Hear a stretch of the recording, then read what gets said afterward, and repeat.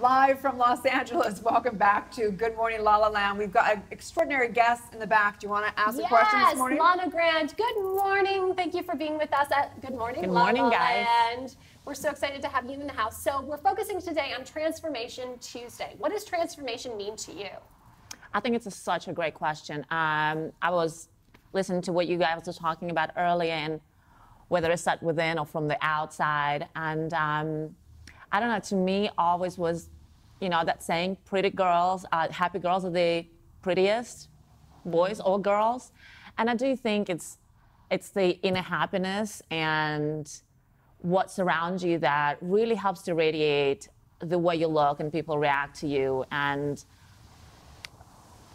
have you noticed sometimes people that whether they there are some people that would look absolutely fantastic and you just kind of around them and you're like oh i don't know and others you just feel so comfortable being around and i think my transformation goal is to always try to find like that inner happiness that makes people around you just want to be around you and kind of radiates and um, Isn't it amazing though when on. when your clients come to you, you can really transform the way they feel about themselves. After, you know, one or two hours in your chair, they walk out and they feel like a new man or woman. That's an incredible gift.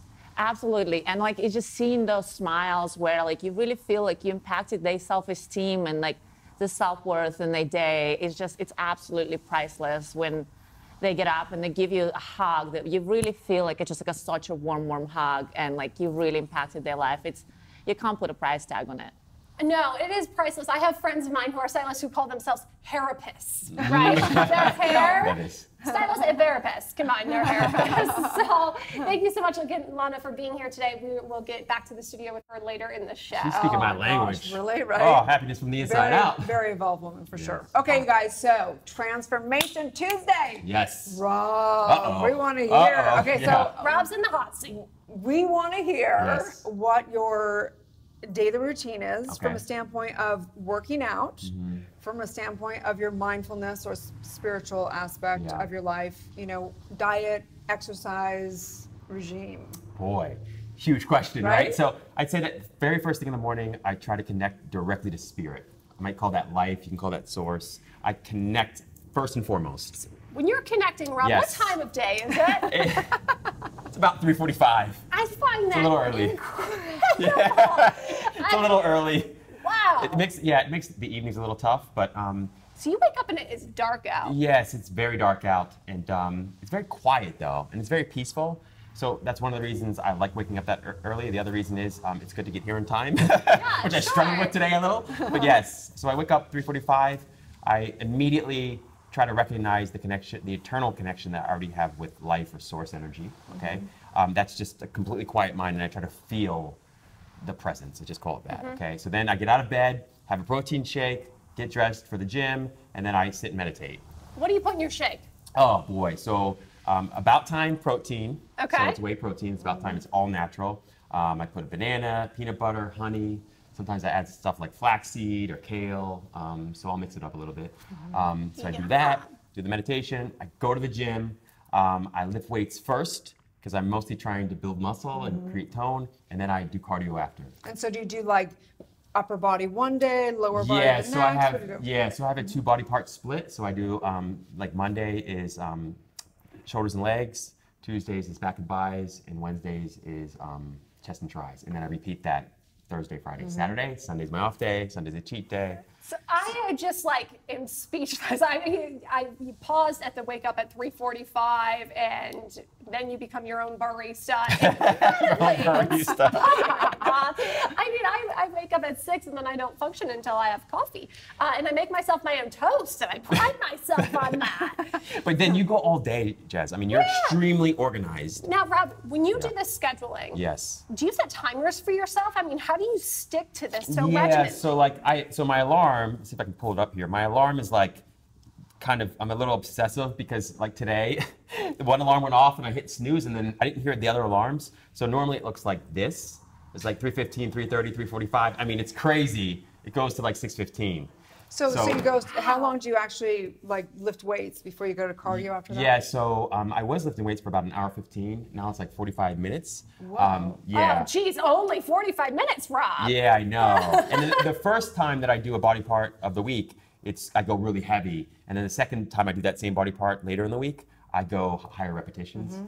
And then after each day, I do usually high intensity interval training because it increases your at rest metabolism. Mm-hmm. Um, so that means that during the day, you can eat more of what you want, but the furnace is burning so hot that you won't put on weight. So what does that mean? Inner? Uh, what do you say again? yeah, so your at rest metab. Um, No. What? What's the type of workout? Oh, Uh, it's high intensity interval training. Mm-hmm. So it's like sprinting for 30 seconds and then walking for 30 seconds, or sprinting for 30 seconds and jogging for 30 Uh-huh. seconds. Why How is it- long do you do that? Uh, about 25 to 30 minutes, It's not too crazy. Yeah. So why is it so important for you, Rob, to be that regimented? And you're waking up at 3:45. Yeah. You're going to the gym like five or six days a week. yeah. What makes you so dedicated to that? You know, it's a great question, Jeslyn, and uh, my family's so great and friends. They're always like, you know, you're so disciplined, Rob. You and I. I It's don't okay feel to that way take at all. off. Yeah, yeah, and I do on Sundays. Pretty epic cheat day on Sundays. But for me, I don't feel like I'm all that disciplined. I call it discipline, which is essentially that I'm so dedicated and committed to being happy, and I've discovered that these things make me so much happier and more confident and more present and just better company that when I do them, I just feel better for having done them. So I started small and I just prioritized consistency, and over time, the consistency snowballed Yeah. into the point where it is now. So then, how often do you eat throughout the day? And it's different, Yeah. I'm sure, because if someone doesn't work out that much, they're not going to Totally. eat as much. But So the whole theme for me is to keep that furnace burning. So I will eat pretty much all day long. I'm a bit of a grazer. I don't eat real large meals, but I'll have the protein shake before the gym. After the gym, I hit my vitamin C and amino acids during the workout. I do like a multivitamin. I do fish oil. I mean, it's you know, but then throughout the rest of the day, I mostly eat, you know, stick to protein, and vegetables if I can. Um, I need to eat more vegetables. do you eat like low, like lean protein? or Yes, do you, yes. I uh-huh. try to stick to lean protein, so fish is ideal. Um, I'll eat chicken. Um, I will eat steak because I need, you know, particularly as a guy, you need more iron and some other Mm-hmm, things. But yeah, it's uh, it's a little bit of a project. So, what would you say to the person who wants to start a routine like that but needs to get motivated? I mean, because this sounds like an epic undertaking. Yeah, so consistency is the key. Start super small. I mean, you want to set the goal something so low that you're almost embarrassed if you can't do it every single day. So when I started, I wasn't working out or lifting weights for an hour a day and doing cardio for 30 and all this. I was just simply saying, I'm going to the gym, period. I may not actually work out when I'm there, but I'm going to show up every single day. When you're there, there's no way you're not going to work out, even if you walk on the treadmill for five minutes. You're going to do it. And so, what time do you go to bed? Do you go Yeah. to bed every the same time every night of the week? I, I, try weekend? to, yeah, because that's so the foundation of all this is sleep. When the sleep starts to erode, then everything else erodes. Like the Mm-hmm. nutrition goes downhill, um, the, the exercises are crap. Mm-hmm. So I try to get to bed ideally by like 8, 8.30. That's crazy. It usually doesn't happen until 9.30, 10. Wow. And you so, know. uh, social life with going Yeah. to bed at 8:30. Yeah, so the social life is mostly relegated to the weekends. Okay. It's like Saturday night, we're all hanging out. So then, what? You go to bed at one o'clock in the morning? yeah, so then I might go to bed at 1, I might go to bed at 2. And then he Um, gets a cheat day all day Sunday. yeah, when you it's say cheat day, Oof. what are you allowing Yes. yourself? So cheat day, man, I look forward to that day every week. I so cheat day, I eat mostly pizza. I love Fresh Brother pizza. Sometimes I'll get Whole Foods pizza.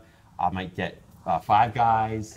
I mean, I go in, I get like donuts. I go for my cookies. I have to get my like pretzel, like cinnamon. It's a whole thing. Oh yeah, Sunday is my cheat day too, and I always get a donut. I go down to my local Yeah. kettle glaze shop, Oh. and I get the cruffin, and it's a croissant turned into a muffin, and it is Oh.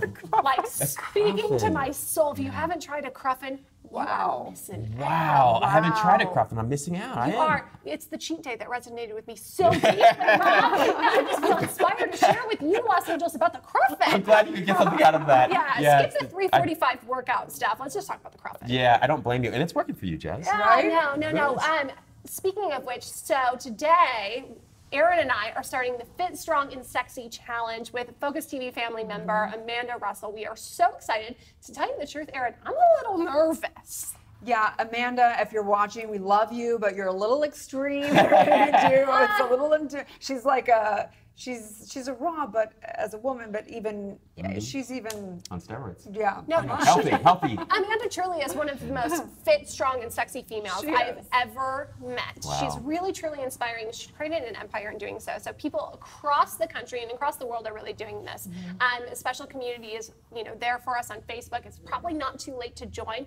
They're, you know, really promoting more energy, better focus, increased confidence, higher productivity, and it's not just about like having a toned body, but it's really how it affects your mind. And she's gone all out. She planned snacks for us, meal plans, recipes. I mean, thank you, Amanda. You have crossed your T's and dotted our I's for us. You know, it's really cool though, because for somebody like me who's really intimidated but going into one of these like fit challenges, she really takes all the guesswork out of it. Mm-hmm. Sends us a video, sends us a menu. We don't have to worry about Yeah. it. I'd say that's got to be one of the greatest tips is when you're trying to get started, or if you've been doing it for a while, is to reach out to someone like Amanda and you know see what she has to offer because it helps you to get instant structure and organization in what you're trying Yeah. to do. But it is also a little intimidating. It's like uh, somebody out there looking at you saying 345. Yeah. Yeah. Really, Rob? Yeah. But I'm with you, Rob. I think that something is better than nothing. And like once you start working out, then you want to work out. When you start eating healthy, you want to eat more healthy. So